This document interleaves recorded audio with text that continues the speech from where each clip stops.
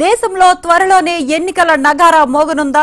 ఈ నెల ఇరవై ఒకటవ తేదీన ఎన్నికల నోటిఫికేషన్ వచ్చే అవకాశం ఉందా? దేశంలో ఐదు విడతలుగా ఎన్నికలు నిర్వహించేందుకు సిఈసి ప్రణాళికలు రచిస్తోందా? మొదటి విడతలోనే ఆంధ్రప్రదేశ్లో ఎన్నికలు జరగనున్నాయా? ఏప్రిల్ రెండో వారంలో ఏపీలో పోలింగ్ జరిగే అవకాశం మే రెండో వారంలో కౌంటింగ్ జరిగే అవకాశం ఉందా?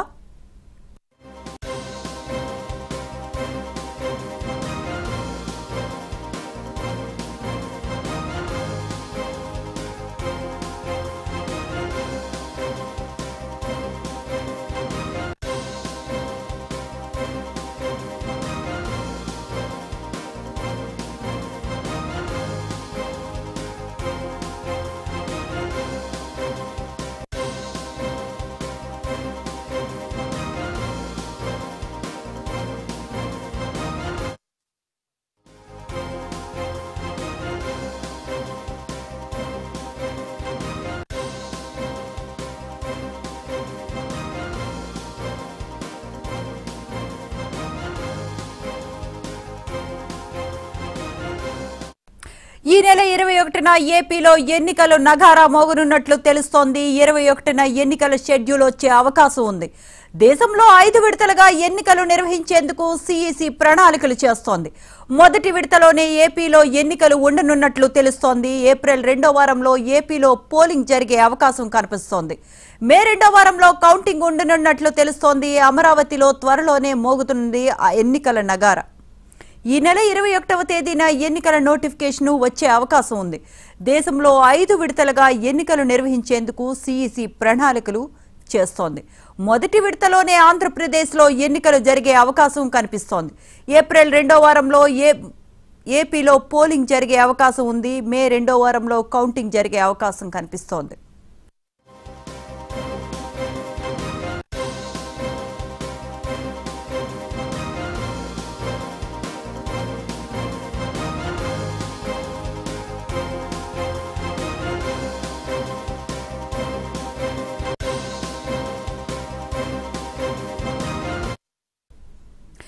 నెల ఇరవై ఒకటిన ఏపీలో ఎన్నికల నగారా మోగనున్నట్లు తెలుస్తోంది. ఇరవై ఒకటిన ఎన్నికల షెడ్యూల్ వచ్చే అవకాశము కనిపిస్తోంది.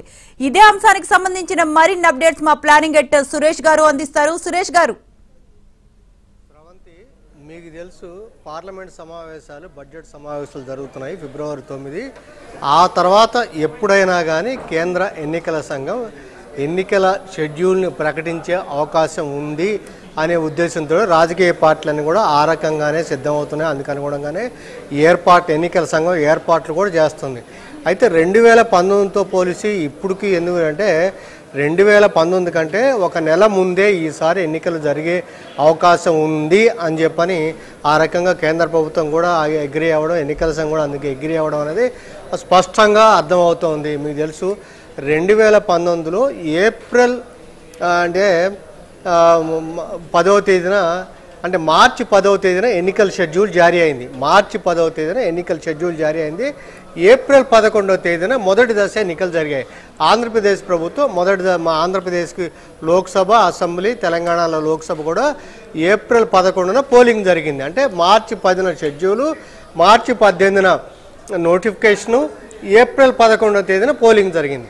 ఈసారి ప్రీపోన్ అవుతుంది. ఇప్పుడు ఉన్న సమాచారం ప్రకారం తొమ్మిదితో బడ్జెట్ సమావేశాలు అడిగితే మూడో వారంలో అంటే ఫిబ్రవరి మూడో వారంలో మనం ఇప్పుడున్న సమాచారం ప్రకారం ఫిబ్రవరి ఇరవై ఒకటిన షెడ్యూల్ జారీ అయ్యే అవకాశం ఉంది. అంటే దాదాపు రెండు వేల పంతొమ్మిదితో పోలిస్తే ఇరవై రోజులు ముందుకు వస్తుంది షెడ్యూల్ ప్రకటన అనేది. అప్పుడేమో మార్చి పదవ తేదీన షెడ్యూల్ ప్రకటించారు. ఈసారి మనం అనుకునేది ఏంది? ఫిబ్రవరి ఇరవై ఒకటిన షెడ్యూల్ ప్రకటించే అవకాశం ఉందని ఉన్నారు కాబట్టి ఆ రకంగా మొత్తం కూడా ఒక ఇరవై రోజులు ముందుకు వచ్చే అవకాశం ఉంది. ఈ రకంగా చూసుకుంటే మనకి ఫిబ్రవరి ఇరవై ఒకటిన షెడ్యూల్ అనుకుంటే మార్చి ఒకటి రెండు తారీఖుల్లో మీకు నోటిఫికేషన్ వచ్చే అవకాశం ఉంది. సో అక్కడ నుంచి ఒక నెల రోజులు వేసుకుంటే మామూలుగా మార్చి ఎండింగ్లో కానీ మార్చి ఎండింగ్లో కల్లా లేదంటే ఫిబ్రవరి మొదటి వారంలో ఎన్నికలు ఉండే అవకాశం ఉంది. పోలింగ్. ఆంధ్రప్రదేశ్ సంబంధించి అసెంబ్లీకి లోక్సభకి పోలింగ్ ఉండే అవకాశం ఉంది. సో ఆ రకంగానే మిగతా రాష్ట్రాలకు కూడా పోలింగ్ షెడ్యూల్ అది మారే అవకాశం ఉంది. మీకు తెలుసు రెండు వేల పంతొమ్మిదిలో ఏడు దశల్లో పోలింగ్ జరిగింది. ఏడు అంటే ఫేజ్ మేనర్లో మనకి ఆంధ్రప్రదేశ్ అసెంబ్లీ లోక్సభ కూడా మొ తొలి దశలో వచ్చింది. అంటే మనకు షెడ్యూల్ అనేది మార్చి పదిన అన్ని రాష్ట్రాలు షెడ్యూల్ అయినప్పటికి కూడా మీకు పోలింగ్ షెడ్యూల్ ఏడు దశలో జరిగింది కాబట్టి మిగతా రాష్ట్రాలే మారాయి. కానీ ఆంధ్రప్రదేశ్ది రెండు వేల పంతొమ్మిది మార్చి షెడ్యూల్ అయితే రెండు వేల పద్దెనిమిది మనకి మార్చి పద్దెనిమిదిన మనకి నోటిఫికేషన్ వచ్చింది. ఏప్రిల్ పదకొండున ఎన్నికలు జరిగినాయి. సో ఈసారి ముందుకు వచ్చే అవకాశం ఉంది కాబట్టి మనం అనుకున్న దాని ప్రకారం సో మా అంటే మార్చి ఎండింగ్ కానీ ఫిబ్రవరి ఒకటి రెండు తారీఖుల్లోనే మీకు పోలింగ్ ఉండే ఆంధ్రప్రదేశ్లో పోలింగ్ ఉండే అవకాశం అనేది కనపడతా ఉంది. మొత్తం మీద అప్పుడు మే పంతొమ్మిది వరకు కూడా పోలింగ్ షెడ్యూల్ అనేది చివరి దశ పోలింగ్ మే పంతొమ్మిదిన జరిగింది. ఆ తర్వాత ఇరవై మూడవ తారీఖు ఆ టైంలో మన ఓట్ కౌంటింగ్ అయింది. కాబట్టి ఇప్పుడు నెల రోజులు ముందు మారుతుంది కాబట్టి మీకు మే ఫస్ట్ కల్లా మీకు మొత్తం అంటే ఏప్రిల్ ఎండింగ్ కానీ మే ఫస్ట్ కల్లా మొత్తం అసలు ఏడు దశల పోలింగ్ కూడా అయ్యే అవకాశం ఉంది. కాబట్టి మే ఫస్ట్ వీక్ లోనే మీకు మన ఓట్ల లెక్కింపు కానీ కౌంటింగ్ కానీ అలాంటి ఓట్ల లెక్కింపు అనేది మే ఫస్ట్ వీక్లో ఉండే అవకాశం. ఉంది ఇప్పుడున్న షెడ్యూల్ ప్రకారం. ఆ రకంగానే అన్ని రాజకీయ పార్టీలు కూడా దీనికి సిద్ధమయ్యాయని మనం భావించవచ్చు. మీకు రాజకీయ పార్టీలు కూడా అందుకు సిద్ధమవుతున్నాయి. కేంద్ర ప్రభుత్వం ఎందుకు ఇంత ముందుగా అంటే ఒకటి ఏంటంటే రెండు మూడు కారణాలు ఉన్నాయి. ఒకటి మీకు తెలుసు అయోధ్య పరంగా హిందుత్వ ఆ రకంగా పరంగా మనకి అయోధ్యలో ప్రాణ ప్రతిష్ట దాని పరంగా వచ్చే అడ్వాంటేజ్ అనేది బీజేపీ పరంగా ఎన్డీఏ నిన్న మోడీ గారు చెప్పారు ఈసారి నాలుగు వందల సీట్లు వస్తాయి ఎన్డీఏకి అని చెప్పారు. సో ఆ రకంగా వాళ్ళకున్న విశ్వాసం అదొకటి. ఇంకోటి ఏంటంటే ఇండియా కూటమిలో మీకు తెలుసు బీహార్లో ఇప్పుడే మనం తెలిపి అక్కడ మనకి జేడీయూ మళ్ళీ వెళ్ళి ఎన్డీఏ పక్షాన చేరడం తర్వాత ఇంకోవైపు వెస్ట్ బెంగాల్ మమతా బెనర్జీ గారు అక్కడ ఐక్యత కుదల మమతా బెనర్జీ గారు మేము నలభై రెండు స్థానాలు మేము పోటీ చేస్తామని చెప్పారు. సో వాళ్ళ మధ్యలో అక్కడ సఖ్యత వచ్చే అవకాశం కనిపించట్లేదు. పంజాబ్లో చూస్తే పంజాబ్లో అక్కడ కూడా భగవంత్ మాన్ ఏంటంటే మేము ఇండిపెండెంట్గా పోటీ చేస్తాం మా- పదమూడు లోక్సభ స్థానాలు మేమే కంటెస్ట్ చేస్తామన్నారు. అయితే అందుకని ఈ ఇండియా కూటమి కలవక ముందే అంటే ఇంకా మళ్ళీ టైం ఇంకా విచ్ఛిన్నమయ్యే అవకాశం ఉంటుంది.